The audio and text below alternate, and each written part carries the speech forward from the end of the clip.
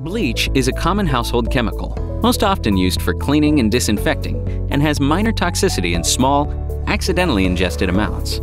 Getting household bleach on your skin can result in a slippery feel to the exposed area, along with minor irritation.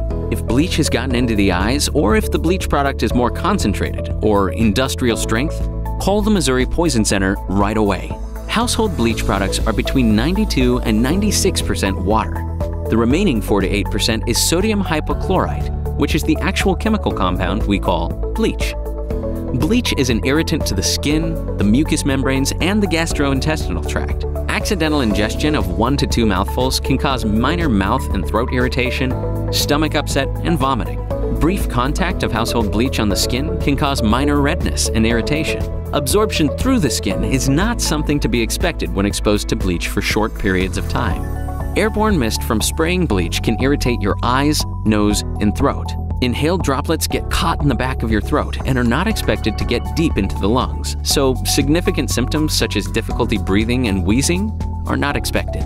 If you or your child have ingested household bleach, don't panic. Wash hands thoroughly and wipe the mouth out with a soft, wet cloth, or swish fresh water in the mouth and spit it out.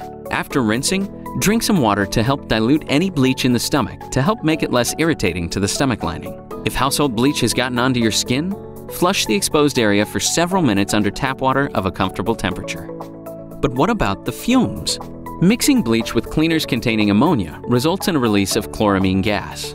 Mixing bleach with an acid, such as vinegar or some toilet bowl cleaners, will release chlorine gas. Both of these gases can cause burning and irritation of the eyes, nose, and throat, which typically results in coughing, tightness in the chest, hoarseness, wheezing, and headache.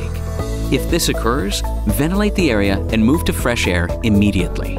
If problems start or you have questions, call the Missouri Poison Center right away at 1 800 222 1222. The Poison Center is open all day, every day for poisoning emergencies and for questions too.